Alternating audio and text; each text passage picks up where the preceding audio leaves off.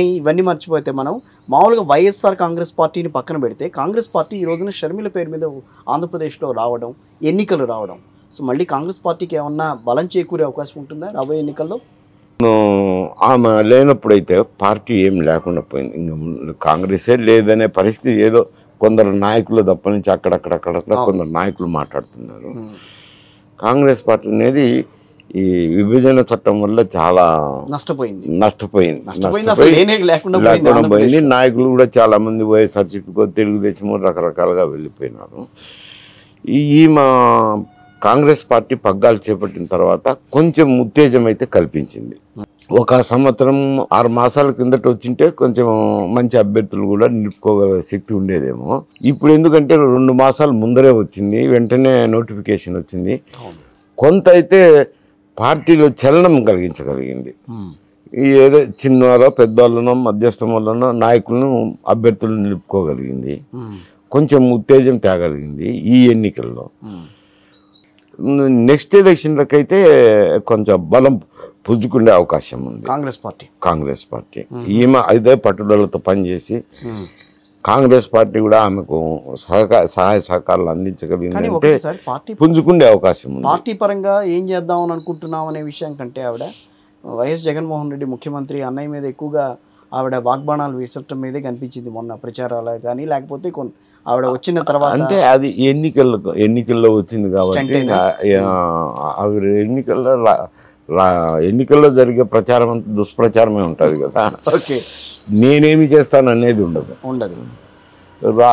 ప్రభుత్వం ప్రభుత్వం చేయలేదనేదే ఉంటుంది ఈ విమర్శ. ఎందుకంటే మెయిన్గా దృష్టి అంతా ప్రభుత్వం మీద పోతుంది.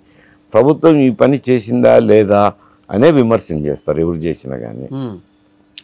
కాకపోతే ఆమె ముఖ్యమంత్రి జగన్ కాబట్టి జగన్ విమర్శించగలిగి చెల్లెలు జగన్ అన్నను విమర్శించగలిగి అది ప్రాధాన్యత సంతరించుకునేది. ఏ ప్రతిపక్ష పార్టీ అయినా కానీ ముఖ్యమంత్రిని ముఖ్య అధికార పార్టీని విమర్శిస్తారు కదా అది సహజం కదా. ఇద్దరు చెల్లెళ్ళు వ్యతిరేకించారు తల్లి వ్యతిరేకించింది సో ఒక రకమైన స్లోగన్ కూడా బయటికి తెప్పి తెచ్చింది బయటకు వచ్చింది చెల్లెళ్ళని దగ్గర ఉంచుకోలేని వాడు తల్లిని దగ్గర ఉంచుకోలేని వాడు ఇప్పుడు రాష్ట్ర ప్రజల్ని ఏ రకంగా దగ్గర చేర్చుకుంటా అక్క చెల్లెళ్ళు అని సభల్లో సంబోధించినప్పుడు ఇంట్లో చెల్లెలను అక్కగారిని ఇది సంభాళించలేకపోయినారు బయట వాళ్ళందరినీ ఏం సంభాళించుతారు వస్తుంది కదా తప్పదు కదా. నీకు ఎక్కువ వచ్చింది నాకు తక్కువ వచ్చిందా? నా భూమి నీకు వెళ్ళిందని చెప్పి అదే ఆ- వివాదాలు కూడా. ఉన్నాయి. ఆ వివాదాలు అయితేనేమి ఒరిజినల్ ఇవ్వము నకలే ఇస్తాము. నకలే ట్రూ కాపీనే ఇస్తాము. కుదురుతుందండి మీరు మీ రాజకీయ అనుభవంలో అట్లాంటి ఇలా ఇవ్వటం కుదురుతుంది? అంటే నక్కలు మాత్రమే చేతికిచ్చి ఒరిజినల్ గవర్నమెంట్ దగ్గర పెట్టుకున్నా అని వాళ్ళ ప్రభుత్వం చెప్పింది. అది ఇస్తారా అమలు చేస్తారా అనేది అమలులోకి వచ్చినప్పుడు తెలియ విషయం. అవును. కానీ ప్రజల్లో ఒక అపవాదు అపోహ అయితే వచ్చింది కదా. దానివల్ల మాత్రం కొంత వైఎస్ఆర్సీపీకి నష్టమే జరిగింది. ఈడ ధరణి వల్ల బీఆర్ఎస్కి ఎట్లా నష్టం జరిగిందో. అక్కడ ల్యాండ్ టైటింగ్ యాక్ట్ వల్ల కూడా ఇదే నేను అందుకే అది ఎప్పటి నుంచో అమల్లో ఉంది కదండి. అది ఇంప్లిమెంట్ చేయటం అనేది కాదు కాదా? కేంద్ర రాష్ట్రాలకి ప్రభుత్వం గైడ్ లైన్స్ ఇచ్చినారంట ఓకే ఆ, గైడ్ లైన్స్ అనుకూలంగానే మేము తెస్తున్నామని. ఓకే. కానీ కొన్ని ప్రతిపాదనలు కూడా స్టేట్ కూడా చేసుకుంటుంటారు కదా. జనాన్ని కన్విన్స్ చేయాలి కదా కన్విన్స్ చేయకుండా దుందుడుక్క చేస్తే ఇదో ఇటువంటివి వస్తాయి. కానీ నష్టం అయితే జరిగింది ఇంకా రైతుల్లో కొంచెం అపోహ వచ్చింది. భూమి భూమి భూములు ఉన్న వారి దగ్గర. రైతులన్నీ ఇలాంటి కారణాలన్నీ కూడా ఇలాంటి అదే అందుకే కూడా నేను కిచిడి అని చెప్పాను. వైఎస్ఆర్ కాంగ్రెస్ పార్టీ మీద ప్రభావం చూపించినాయి. ఫలానా అంశం అని చెప్పలేం కానీ అన్ని వివిధ కారణాల వల్ల ఈ ప్రభావం వచ్చింది అని నేను చెప్పిన.